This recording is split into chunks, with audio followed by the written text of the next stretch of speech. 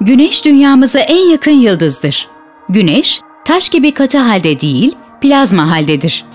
Gazlardan oluşan güneşe bakarken gördüğümüz parlak kısmın adı ışık küredir. Fotosfer de denilen bu ışık küreyi gazlardan oluşan bir atmosfer sarmaktadır. Bu katmanda sıkça gözlemlenebilen koyu renkli bölgelere güneş lekeleri denir. Güneşte en çok hidrojen elementi bulunur. Bunun yanında sırasıyla helyum, oksijen, karbon, demir, kükürt, neon, nitrojen, silikon, magnezyum da bulunur.